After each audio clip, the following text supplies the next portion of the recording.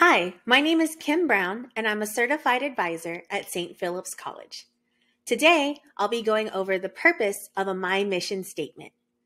You're probably thinking, what is a My Mission statement, and how does that pertain to me? Well, a My Mission statement is an academic statement that talks about your why.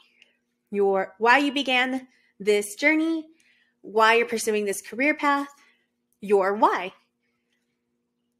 While writing a mission statement, you do have some options. You can be as vague or as detailed as you'd like.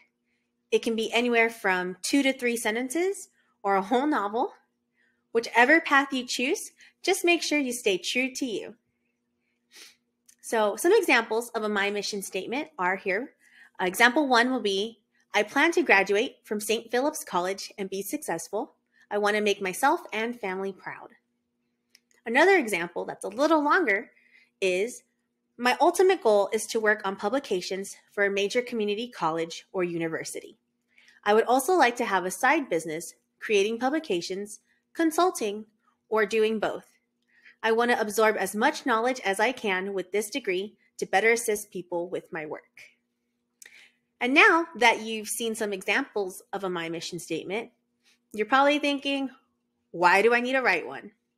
Well, there are many reasons, um, but here are just a few. First and foremost, it's a motivator. So when school and life get tough, your mission statement will serve as a reminder of why you started. Those times you don't feel like studying, look at that mission statement. It's it's that why. It's also an opportunity as far as being able to change your career path, your new inspiration, you just rewrite your mission statement. It's not permanent and it's an opportunity to reinvent yourself.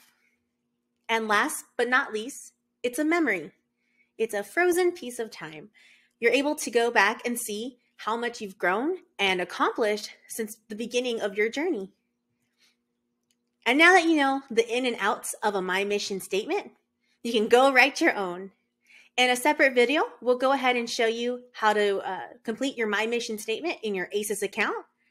Other than that, you've got this and good luck. Bye.